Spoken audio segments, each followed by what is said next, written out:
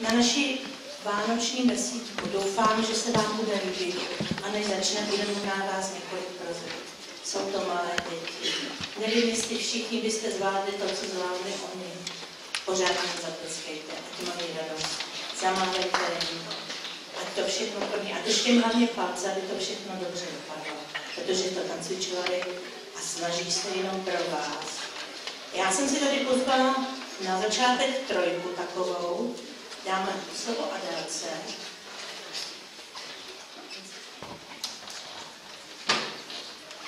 Šťastné